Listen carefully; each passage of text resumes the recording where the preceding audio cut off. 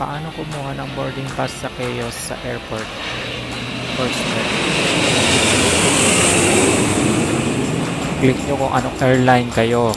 Like that Air Asia. Anong language ang alam nyo? English. Click nyo ang check-in.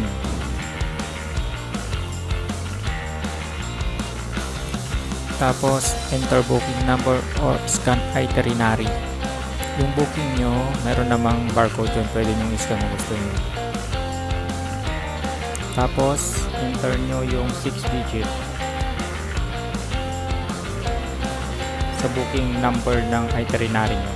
Makikita nyo yun sa may hard copy nyo or nasa email nyo. Pag hindi nyo na kompleto yung 6 digit hindi lalabas yung confirmation sa baba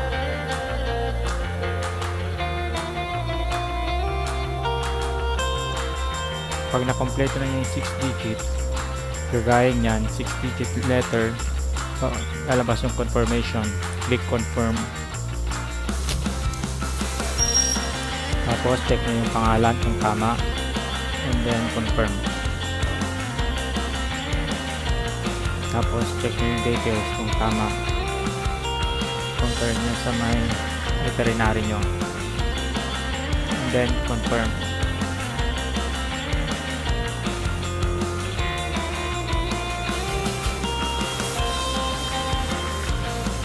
tapos basahin nyo yung safety notice para alam nyo kung ano yung mga bawal at saka yung mga yan attention.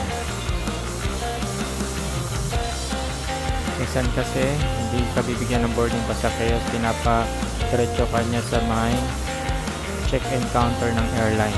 Para dun kumuha ng boarding pass.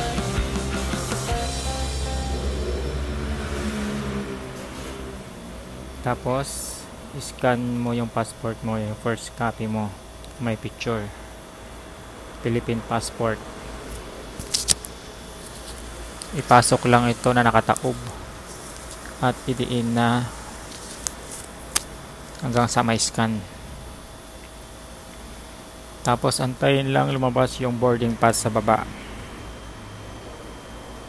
Pag lumabas na okay na yan, ang kagandahan lang nito sa mga check-in traveler, yung mga backpackers ba.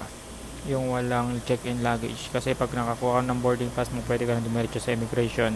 Pero yung may mga check-in luggage, pwede rin kumuha ng boarding pass. Pero pupunta pa rin sa check-in counter para magpakilo ng mga gamit. Yan lang guys. Thank you.